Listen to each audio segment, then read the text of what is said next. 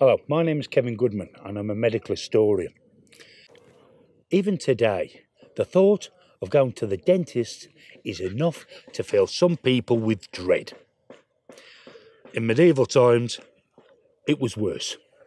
And if you were really unlucky, you would end up facing this. Now, this instrument is called the pelican.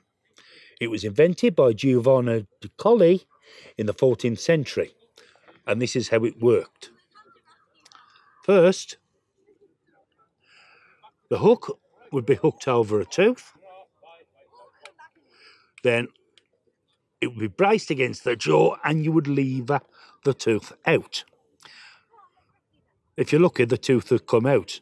If you wasn't, I could either break your jaw or snap the tooth off. Now, the horrifying thing about this was these can continue to be used up until the beginning of the 19th century.